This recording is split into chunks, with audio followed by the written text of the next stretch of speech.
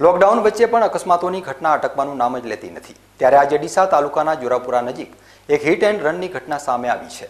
આ ઘટનામાં એક અજાણ્યા યુવકને અજાણ્યા વાહને ટક્કર મારી વાહન ચાલક વાહન સાથે ફરાર થઈ ગયો હતો અને વાહન ચાલકે ઘટના સ્થળ ઉપર જ દમ તોડી દીધો હતો. બાદમાં ડીસા તાલુકા પોલીસે મૃતક યુવકના મૃતદેહને પોસ્ટમોર્ટમ માટે ખસેડવામાં આવ્યો છે.